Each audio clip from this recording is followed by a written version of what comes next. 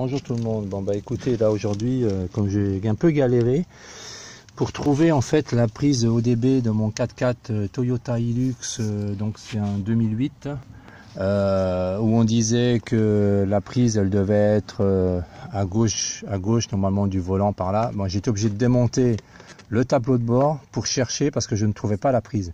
Donc pour ceux qui cherchent toujours sur Toyota Hilux, en fait vous voyez il y a la colonne de direction, vous avez la partie centrale ici.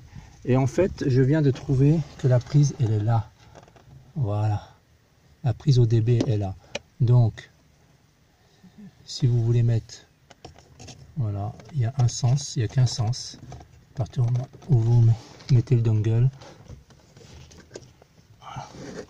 voilà. Donc, vous, voyez bien où c'est situé. Là, c'est le, le frein à main. Et là, vous descendez, c'est juste derrière là. Voilà, ça évitera à certains de chercher. Merci, bonne journée à tous.